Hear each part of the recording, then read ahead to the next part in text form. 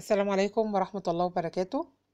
فاقت أول أمس الجزائر على خبر محزن وهو وفاة السباحة الجزائرية منال الحبوب وشيع ظاهرة اليوم الثلاثاء جثمان سباحة المنتخب الوطني وفريق اتحاد العاصمة منال الحبوب الذي وافتها المنية أول أمس الأحد عن عمر ناهز 17 عام. بعد تعرضها لسكتة قلبية أثناء الحصة التدريبية وذلك بعد ساعات فقط عن اجتيازها امتحان شهادة البكالوريا. وبالزغاريط ودعت عائلة السباحة منال حبوب ابنتهم لآخر مرة. صدمة وحزن يخيم على بيت عائلة وزميلات الفقيدة وانهيار والدها وزملائها. رحمها الله وأسكنها فسيح جناته. تعددت الأسباب والموت واحد. إلى هنا انتهى خبرنا.